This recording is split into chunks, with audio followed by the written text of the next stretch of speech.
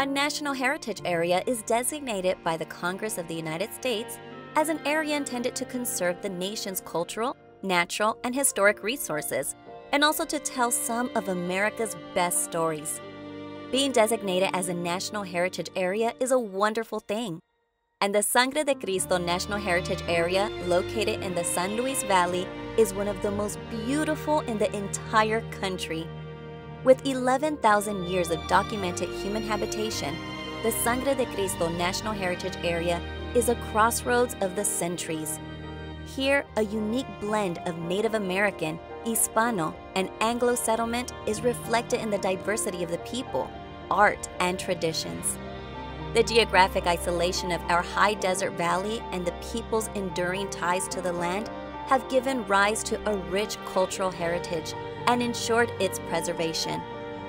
Our heritage area encompasses more than 3,000 square miles within the San Luis Valley and is comprised of Conejos County, Costilla County, and Alamosa County.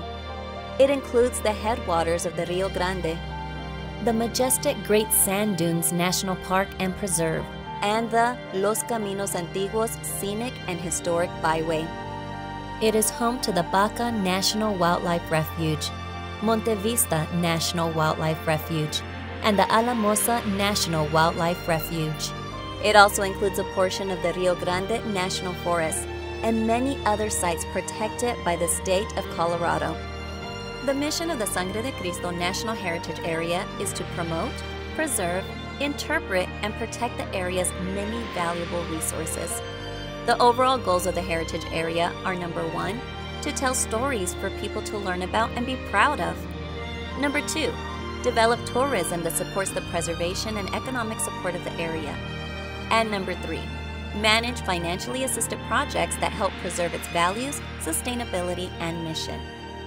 Grants and signature projects of the Sangre de Cristo National Heritage Area are intended to encourage cultural and historic heritage preservation activities and educational programs.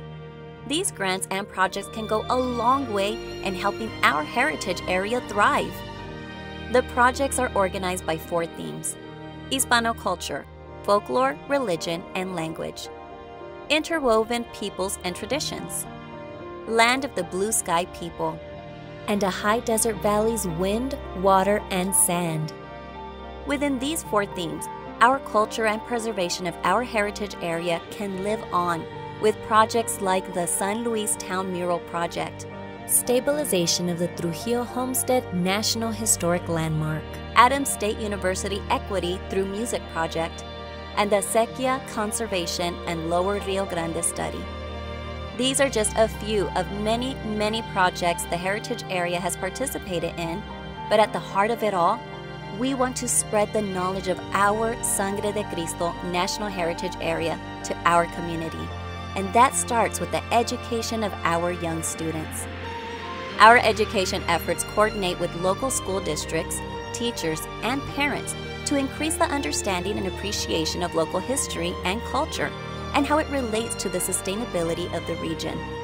These efforts engage young people in leadership development and creates an appreciation for the history and culture of the Sangre de Cristo National Heritage Area. And we'd like you to engage with us as well. Come learn more about your Sangre de Cristo National Heritage Area. Come hear the exhilarating stories of the past. Come participate in new projects that will continue to help the area live on. We need you. Visit www.sangreheritage.org or visit us on our Facebook page. We are the Sangre de Cristo National Heritage Area.